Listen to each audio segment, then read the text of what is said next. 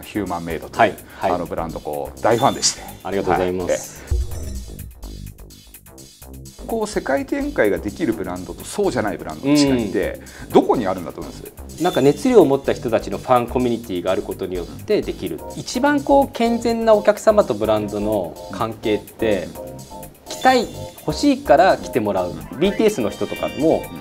単純にあの全然お金払うから欲しいって言ってくれたりとかしていて。その企業自身が、うん、あのそこで働いてる人たち自身が、はいはい、僕クリエイターになんなきゃいけない。クリエイターってやっぱり経営者だし経営者ってクリエイターだと思っていて。まさにそこの人たちっていうのがそのイノベーションを起こしていくんじゃないかなと思っていて。ピボットトークウィス明石学徒、えー、記念すべきねあの第1回ということではい、おつもの松沼玲さんにはい、あのちょっとお話をお伺いできるということで、お願いします。よろしくお願いします。えー、なんかあ変な感じですね。そうですね。えー、はい。そう松沼さんとそのまあ僕の関係っていうところでいくとこうまだ松沼さんがこうユニクロで、あの、はいはい、働かれてるあの、えー、頃からのこうちょっとお付き合いになりますんで、はい。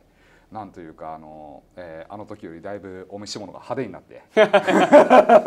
んなことないんですけどね。まあまあまあそうですね。はい、はい、えー、ね。多少は。いやそうでしょう。もうでも僕も本当にこうあの今こうあのおつも、えー、が、えー、やられているヒューマンメイドという、はいはい、あのブランドこう大ファンでして。ありがとうございます、はい、今日もね、ね、いつもお召しいただいていて、えー、来てるんですけど、えー、ちょっとあのレアなやつ着てくるとあの感じ悪いかなと思ったんで。なるほど、はい、今日はあのその日に注文すれば誰でももう何枚でも何枚でもじゃないあれ一応在庫ありますもんね。そうですね、えー、一応上限は、はい、一応上限はあるけど、はい、あの比較的ヒューマンメイドな方買いやすい、はい、あの、はい、もうアイコニックなこの T シャツのアイテムを、えー、ちょっとこう着てきてますありがとうございます、ね。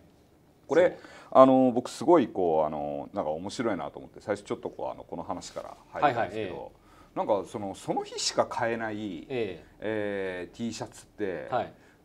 コンセプトがなんかよく分かんないなと思ったんですよね、えー、どういう狙いなんだろうかみたいな。であのー、僕実際あのちょっとこの緑色のやつと違う、えー、えー、やつをねあのちょうどね5月のえっと何日か24、はいはい24かな、はいはい、5月24だ、はい、524はい、はい、524のあのデイリー T シャツ僕その日、はい、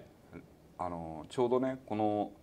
まあ、撮影してるこの来週にあの僕のまあワンメディアって会社ものすごいこう大きい発表するんですよ。えー、多分これがね世に出てる頃には多分もうそれ出てるんであれなんですけどすごいそこのあのまあリリースにおけるこう社長ステートメントみたいなやつ、えー、これをねあのもう1か月前から書けと言われていたのに、はいはいはい、なかなかねやっぱもうあまりに大きなあのピボットすぎて、えー、ピボットするんですよね僕らのこれ出てくるのはもうピボットしてるんですよなんか。ピボットしてるんですね、うん、そうなんですよ。でそのピボットするのにあたるこう気持ちみたいなものをやっとそのね5月24日にかけたんですよ。でそのかけて、はい、いいのかけたなって思って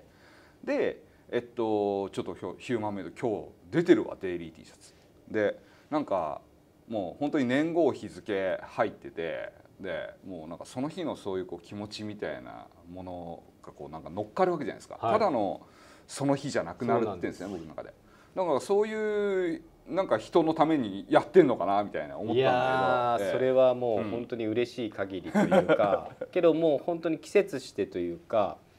なんかまあもともとの発端はうちってまああの T シャツいっぱい出してるんですけど当たり前ですけど T シャツってボディ作って縫製してでプリントしてまあそれなりのリードタイムがかかるんですけど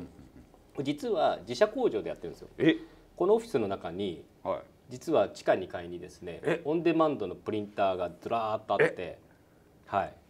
えじゃこれはあのメイドイン中目黒ってこと？そうです。メイドインここです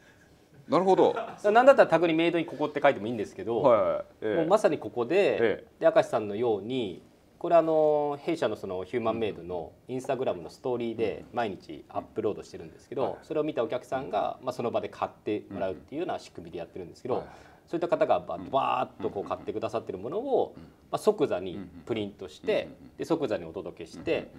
やっぱりこう気持ちが熱いうちに届いてきたいじゃないですか。でそれをこう叶えるためのある種新しいそのシステムとしてオンデマンドとしてやってるっていう感じなんですよね。いやなんかねすごいあのちょっとこうあの今の話ってあの僕の中でこうすごいこう2つあのなんかめっちゃこう、はい、なんだろうなあのエモいポイントっていうとちょっと安くなっちゃうんであれなんですけど、えー、すごいこう心の金銭に触れる部分があって、はいはい。えー、で1個はまず大きいこうあの流れとして、えー、あの松沼さんみたいにあのなんだろうなこうもう前職ユニクロって、はい、あのすごく自分たちでは工場というものは特に持たず、えー、世界中のいろんなところに工場があって、えーはい、でものすごいこうあの大量のものを的確にデリバリーしていくっていうことをやってきた、はい、あの方が、今あの中目黒の一角で あの T シャツ作ってるやつを届けてんだっていうところのまずエモさがいい、なるほど。そう。で僕まああのすごいこう、えー、82年生まれで、はい、もうすごいこう裏原宿世代ですね、はい、であのヒューマンメイドあのやられてるニゴさんが、はい、あの最初にこうノーウェアっていうお店やられてる時、でその時ってこうシルクスクリーンで T シャツ吸ってたと思うんですよね。で、なんかその時のあのマインドが、今もやっぱあるんだっていう、はい。はい、その2つ？ありがとうございます、えー、に今めっちゃ心打たれてるんですよ、えー、なんかあのうん、あんまついてきてないね皆さんね。ピボット見てる人ついてきてないかもしれないけど僕は今すごいこう今もう興奮してる。なるほど、えー、そういやけど本当になんかあのー、僕実はそのまあユニクロで UT ブランドを立ち上げてたんですけど、うん、その後にやったのが UTME っていう、それもオンデマンドで、まあ、要は T シャツってまあこうずっと僕も20年ぐらい T シャツの事業をやってるんですけどユニクロ含めてで言うと結局まあメディアだしその自己表現のツールなんですよね。T シャツ自体が、まあ、好きなバンド T とか、まあ、それ着てたらあヒューマンメイド好きなのとか好きなアーティストの T シャツ着てたらあその人好きなんだって、まあ、こうコミュニケーションが生まれるじゃないですか。で明石さんってこんな人なんだっていうファーストインプレッションとしての取っかかりとして、まあ、うってつけなもので、そのメディアとして考えた時になんかその T シャツっていうのがその、まあ、ギフトみたいなこともそうだしチームウェアみたいなこともそうだしやっぱ絆とか気持ちみたいなことを伝えるための非常にいいこうプロダクトでもあり媒体だなっていうところはやっぱ視点としてあって。でこのデイリー T シャツもやっぱ日付によって全然柄も違いますしで例えばこの前とかはあの5月20日、まあ、ちょうど最近あったと思うんですけどあれあの中国では僕も知らなかったんですけど5月20日っていうのが中国語で「大愛に」っていうおなるほどね。そうなんかその響きに近いっていうので今ネットバレンタインデー的なもう若者の中で5月20日はまあ思いのある人に対して告白するっていうまあそういうなんか文化というか習慣ができつつあってでそんなことを聞いたんで5月20日の分だけちょっと受注数をグッと上げたんですよ。はいはい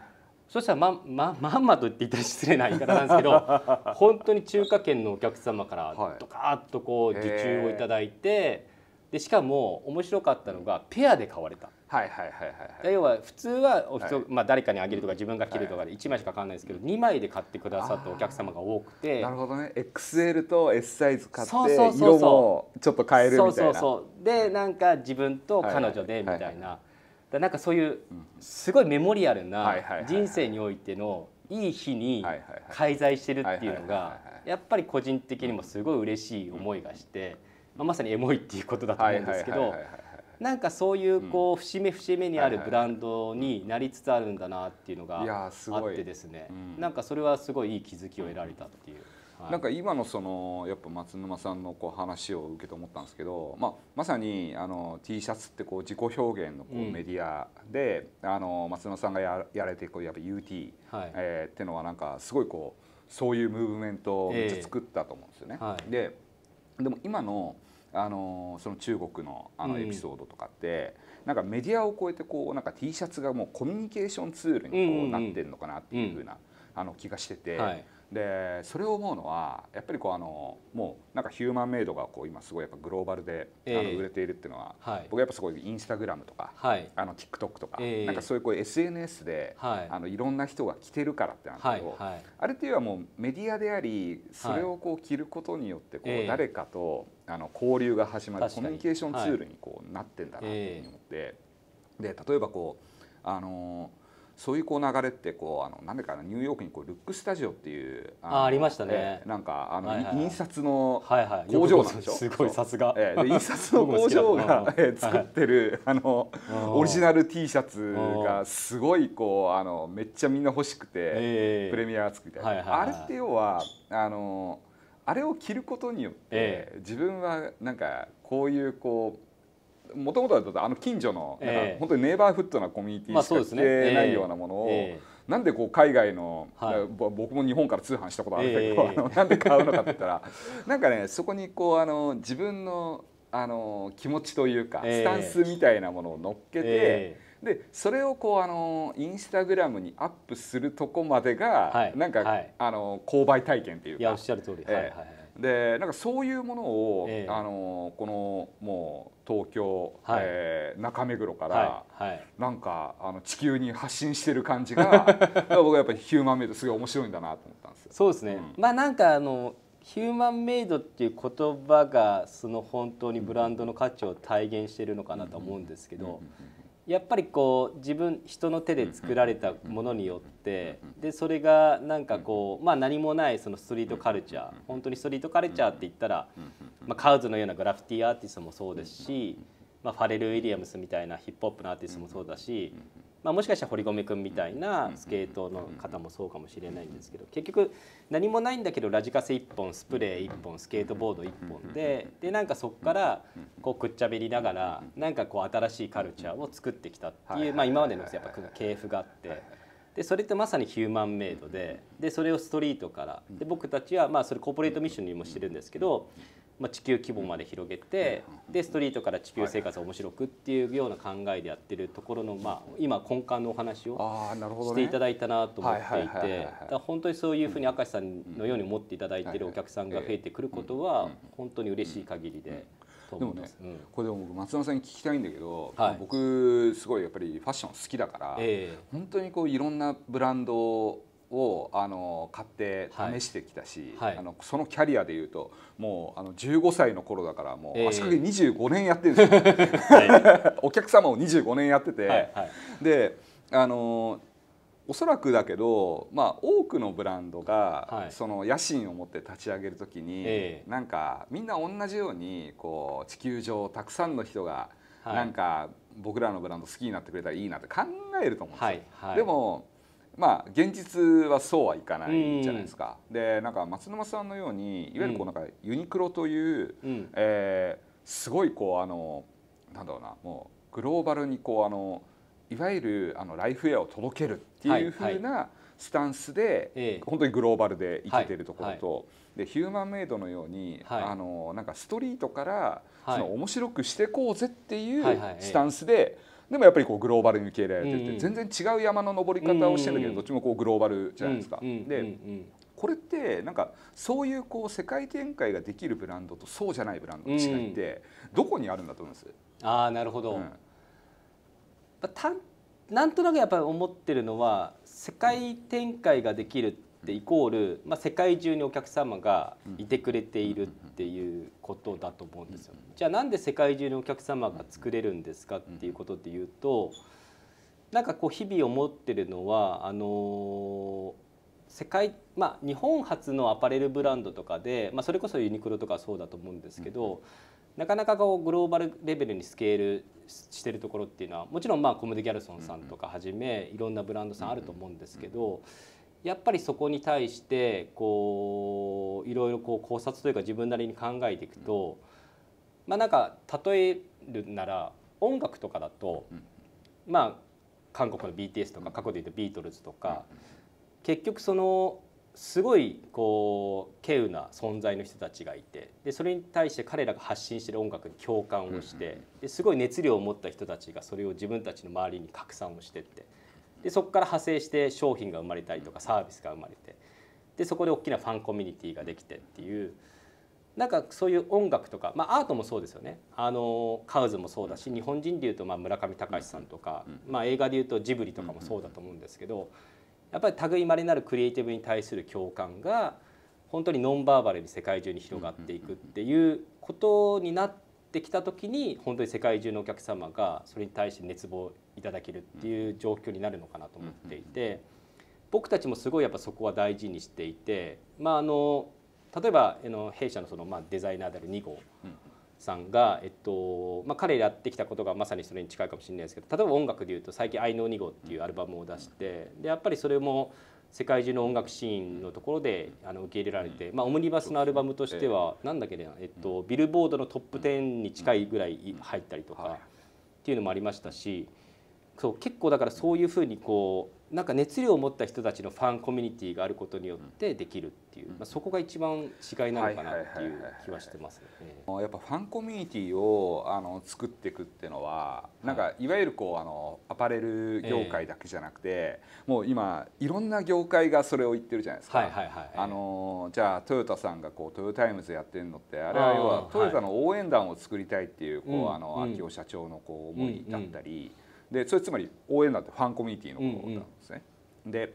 あの音楽の世界でもじゃあこうあの k p o p がこうものすごいこうグローバルにいけてるのって、はい、あのいわゆるファンダムって言われるあの、まあ、ファンコミュニティですね。はいあの k p o p の人たちがすごいこう作り出したこう面白い概念ってあのファンに名前をつけてるじゃないですか。はいはいはい、あの BTS のファンは BTS のファンは何て言うんでしたっけ？アーミー。そアーミー、うん、アーミー。で、えっと、はい、それぞれこうあのもうファンのなんか、えー、あのグループの名前が決まると同時に、えー、ファンの名前が決まるんですよね。えー、であのこれファンの人になんかこうインタビューすると面白くて、うん、なんか、えー、もちろんそのそういうこうアイドルが生まれてきてそれをこうあなんか応援していくなんかすごい好きだっていう気持ちよりも、そのねじゃあアーミーだったらそのアーミーに慣れて、はい、でアーミーというこうコミュニティに貢献できる自分が好きみたいな、これって、あの、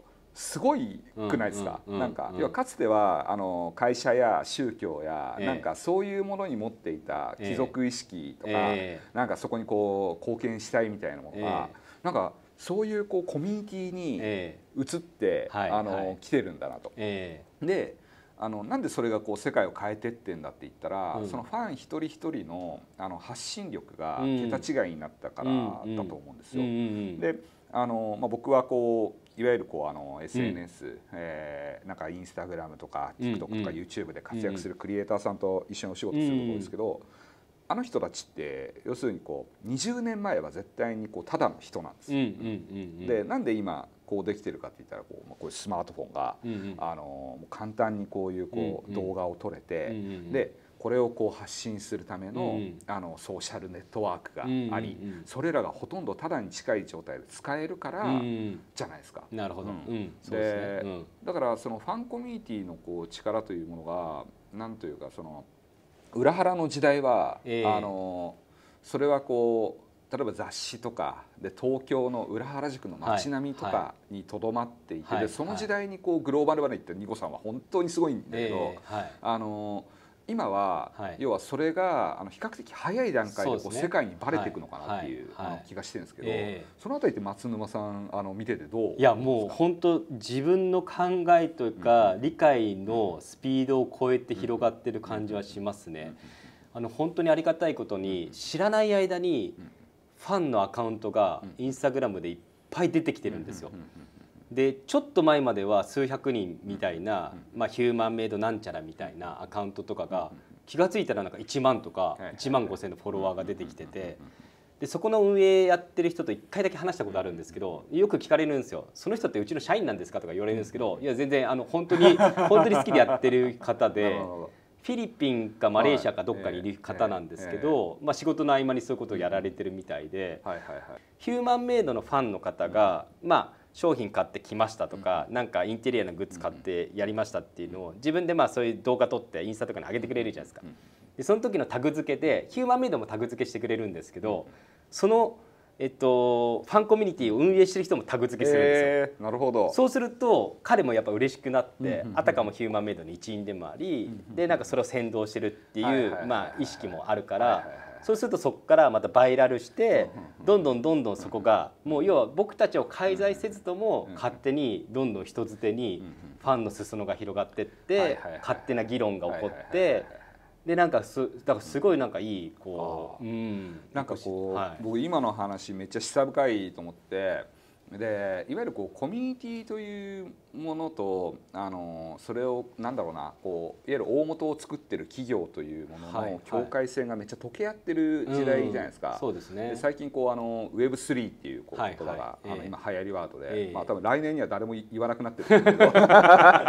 でもう言わなくなるっていうのはつまりなんかまあ Web2.0 っていうのが、あのねそれこそこう、えー、何年前ですか？もう15年ぐらい前ですか？あのすごいこう流行ったけど結局あれって当たり前になるからみんな言わなくなるわけじゃないですか。えーはいうん確かに。で、うん、Web3 もそうだと思うんですけどで Web3 の中でこうあのよくこう DAO っていうあのことをみんな言うん。ですね DAO、DAO って書いて、うん、でそれはこうあの従来の会社組織とかそういうんじゃなくて、えーはい、あのいわゆる、えーなんだろうなコミュニティにこう貢献した量に応じてリワードが受け取れて、であの自立分散型組織みたいなのを DAO って言うんですけど。でこれがこう Web3 で実現するみたいに言ってるんですけどでもそもそもなんですけど、うん、そテクノロジーがあって、うん、それがまあ可能にはなってるんだけど、うん、その手前ねもっと手前に、そういうこうあり方の方がうまくいくんじゃないかみたいな、うん、なんか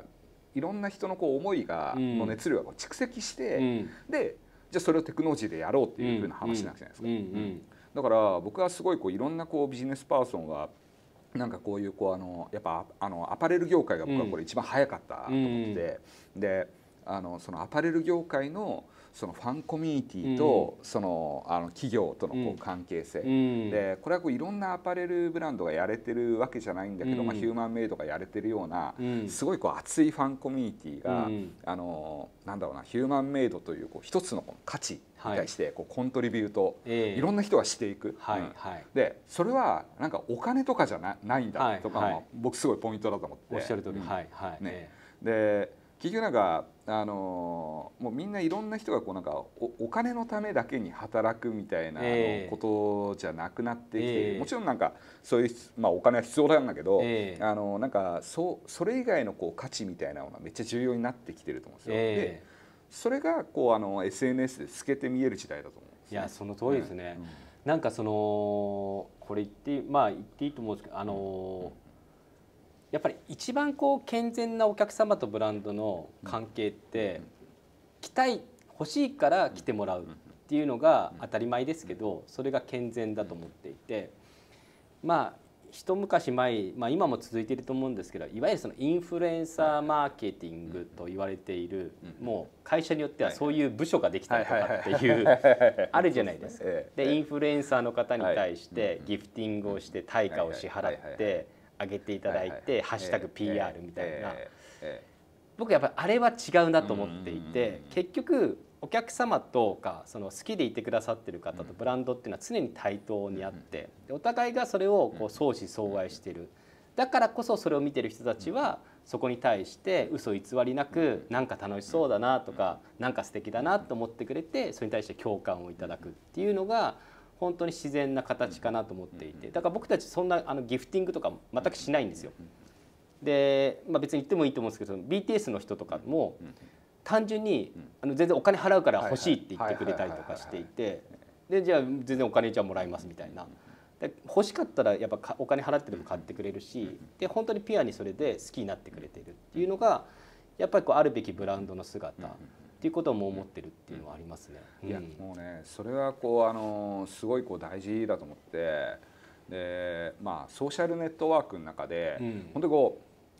もう昔に比べたら莫大な情報が、うん、あの、出てるわけじゃないですか。うん、でいわゆるこうあの僕が高校生の頃だったらこうファッションの情報を得ようと思ったら、じゃあ朝やんとか、スマートとか、うんヒュージとかね、大体多分ね 月1か多くてあの2週に1回の観光のやつ、えー、スマートぐらいじゃないかな2週に1回。なんか、はい、すごい昔はしになっちゃうんですけど。でそういうタイミングでしか、はい、なんかこうデリバリーされないわけです情報が。なんだけどもう今ってこうインスタグラム TikTok 開けば1日にものすごいこう数の、でしかもこうあのプロが作ってる、まあ、いわゆるこう PGC といわれるこう Pro Generated Contents だけじゃなくて UGC、ユーザーが作った、いろんなこうあのもうルックが見れて、でこれはもうねあのなんだろうなもう窒息しちゃうっていうかね 窒息しちゃうっていうような そうお腹いっぱいになっちゃう。でお腹いっぱいになっちゃってる中で、いわゆるこう松野さんがおっしゃったこれ、うん、美味しいです発信 PR みたいな。はい、これは全然誰にも刺さんない。そうなんです。そうで、うん、でなんかこれ僕も会社の中でよく言うんですけど、うん、結局そのあの気持ちと体重が乗ったパンチじゃないと確かに。なるほどね。相手に届かないんですよね。でじゃあそのいかにその気持ちと体重を、えー、えー、っといろんな人にこう乗っけてもらうかとか、えー、でじゃあそのまだあの知られていないブランドやプロダクトが、えー、なんかそういうふうになっていくにはなんかそこのこう本当にこう応援団というか、アンバサダーみたいな人を、あの作っていく必要があって、でもね僕ってその今第一歩が、うん、あのその企業自身が、うん、あのそこで働いている人たち自身が、はいはい、僕クリエイターになんなきゃいけない時代だっていう、えー、今僕派閥なんですねそういうふうな考えを持って、うん、確かに、それはけどそうだな、あのー、そう僕も、ユニクロでずっとやってた時は、まあ、本当に嬉しい言葉をあの柳井社長、柳井忠さんから頂いたことがあってですね、あの松沼君はビジネスクリエイターだっておっしゃっていただいたことがあったんですよ。あのこんなことここで言っていいのかは分かりませんが、けどすごいそれは嬉しいんで言っちゃいますが、かっこいいですね。そうなんですよ。ビジネスクリエイターっていう職種ないじゃないですか。多分いきなりふと思って多分 言っちゃったと思うんですけど、結局それはだから。この前あの佐藤柏さんとかもこのまさにピボットのメディアでおっしゃってましたけどクリエイターってやっぱり経営者だし経営者ってクリエイターだと思っていてまさにそこの人たちっていうのがこうこれからの新しいその事業とかブランドの作り方とか、まあ、またまさにこういうファンコミュニティみたいなことでいうとその明石さん的な方、まあ、明石さんもビジネスクリエイターだと思うんですけど結局そこがそういうことの意識とそれをやっぱやっていく人っていうのがこう新しいその何でしょうねニーズを吸い上げて商品とかサービスっていうそのイノベーションを起こしていくんじゃないかなと思っていてすごいその言葉は今でも大事にしてますし、まあ、まさにそうなりたいなって今でも思ってるんですけど。はい、なんか、ね、すごいそれは思いまし思い出しましたね。めちゃくちゃいいですね。なんかそのもうビジネスクリエイター要はあのなんかこれだけいろんななんかコミュニケーションを、はい、えー、使える手段が。だ昔はこうお金がないと、えー、あのテレビ CM 出せないし、はい、新聞出稿できないし、えー、だからまずお金じゃないですか、ね、要はビジネスがなきゃいけなかったんだけど、あの今はそこにこうクリエイティブっていうものがあると、うん、あのお金を使わなくても、はい、なんかいろんなこうファンを作ることができたり、はい、あのまあ、リーチを広げられたりっていうショートカットができるんですね。はいだからそのビジネスクリエイターっていう存在が多分より重要性を増してるし、えーうん、であのそれこそ、えー、あの人何でしたっけ？あの鎌倉に住んでる、えー、毒舌の、えー、世界のあのエリートはなぜ美意識を鍛えあそう。山口修さん。もう本当出てこないんですよもう。もう廊下がやばいええええそうねだからやっぱ山口周さんのあの本とかが多分売れる時代だし。そうですね。で僕、まあ、アートとサイエンスみたいな、ね、そう。そう、アートとサイエンスの融合がすごい大事ってみんな言うじゃないですか、はい。はい、ででもねそれゆえに思うことがあって、はい、今のあの僕とじゃあ松沼さんがアラフォー、アラフォーですよね、アラフォーですね、で本当に今のじゃあこうあの20歳ぐらいの子たち二十、歳の子たちっていうのは、はい、もうこれが当たり前にある中でネイティブで育ってる、うん、いわゆるジェネレーション Z みたいな、えー、であのでその先の世代とかももっとそうなわけじゃないですか。えー、で彼らって要はあの彼女彼らってこうなんかそういうことを息を吸って吐くようにやるわけですよ。確かに、はい、で僕はこう将来のそのヒューマンメイドのライバルってそういうところから出てくんじゃないのかっていう気がしてるんですけど、うん、確かにね、うん。うん、ちょっとだからそこはそうですね、まあライバルというのが分かんないですけど、けど逆にそこは楽しみたいですよね、そのこれからの世代の子たちが。どういうことを思ってどういうことのビジネスをクリエイトしていくかっていうのはめちゃめちゃ興味ありますよね。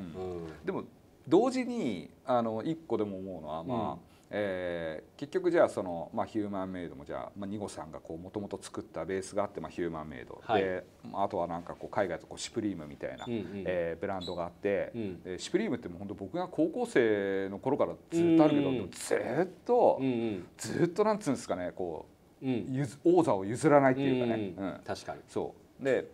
逆に言うとそのこの10年ぐらいでいわゆる全くこうど新規で現れてきたような何でしょうね。そういう存在も、うん、まあ、そんなにこう実はいないのかもしれない。うん、で結局ではその90年代とその00年代、うん、10年代だったら、全然やっぱ使える武器も広がってるはずなのに、うんうん、なんかこうそこが覆らないっていうのはこう、なんかどういう理由があるんだ確かにな。あのまあ本当にそういう存在に僕たちもなっていきたいと思いますし、うん、その僕たちのブランドのコンセプト「The Future is in the Past」ってあるんですけど、結局未来は過去にあると思っていて、まあ日本語で言うと「温故知新」ですよね。やっぱりこう過去からの学びで未来にどう息づくかっていうことで言うと、シュプリームがずっとこう90年代立ち上がってから今も隆盛を築いているのは、まあ、創業者ではジェームスっていう人がいつつも今は別に創業者の名前が立たなくともあれはまあやっぱりスケートカルチャーを中心にしながら常にそこに対して熱量の熱いスケーターとかファンがいてで彼ら自身が独自のその時代に合わせた形でブランドを作り出してプロダクトを作ってでその新しい20代とか10代の子たちがそこをフォローしてだからどんどんどんどんこの世代を受け継ぎながらも根幹の発想とかえっとコンセプトは維持しながらも時代に対して脈々と変化し続けているブランドだからこそ強い。でそういうまあえっと学びももちろんありますしだから僕たちもそういうふうにあのどんどん世代は変わってってもその時代に応じた商品とかサービスっていうのは逆に若い世代の人たちと一緒に作るっていうことがまあ求められてるとも思いますと。でもう一個の視点で言うとこれあの僕あのよく社員の方とかにもお話しするんですけど、まあ、ヒューマンメイドのブランドって一個ユニークなのは、まあ、女性のお客さんが非常に高いっていうのもそうなんですけどもう一個ユニークなのはアパレル以外の売上の構成比率が非常に高いんですよ、うん、要は家のインテリア商品とか、外で使うアウトドア商品変なバナナの置物とかね変なって言っちゃった。そう。もう変なまさにね。何に使うのみたいな、まあ、最近もあのバナナスタンド作ったんですけど、はい、食べれないバナナ一緒に売ったりとかしてるんですけどこれどうすんのっていう。まあそういうのも含めてなんですけどそのやっぱりこうなんだろうヒューマンメイドがある暮らしが人々のなんか生活をより豊かにしていったりとか、あの心を豊かにしていくと、なんかやっぱカルチャーのリテラシー上がっていくかなと思っていてでリテラシーが上がると、まあ、よりこう物の分別がついたりとか物の良し悪しが分かったりみたいな、まあ、そういうちょっと世界を、まあ、そのまさにクリエイターエコノミーじゃないんですけどちょっとあの理想郷としては描いてる中でいうと例え話でいうと無印良品さんってあの、まあ、アパレルもやりつつ食品もレトルト食品から。まあ本当インテリアからアウトドアから何だったらもうカフェホテルキャンプ場とかまあ衣食住にまつわるまああらゆるライフスタイルの部分を司って彼らなりにやってます。ただ無印っていうだけあって、まあ、無色透明アノニマスな世界観でそれをまあ彼らはやってますと。で僕たちはやっぱそこにストリートカルチャーっていうことを目指していますのでなんかアパレル以外のそのライフスタイル衣食住全般に対してそういうエッセンスが加わった時の面白い化学反応っていうのは絶対あるだろうなと思っていて。その辺をこう次の世代の人たちと一緒に考えながらやっていくとあんまり世界的にも類を見ないような、まあ、事業形態とかまあなんかそういうブランド像っていうのが考えられるんじゃないかなっていうのはなんかこうくるくる思ってたりとか。はい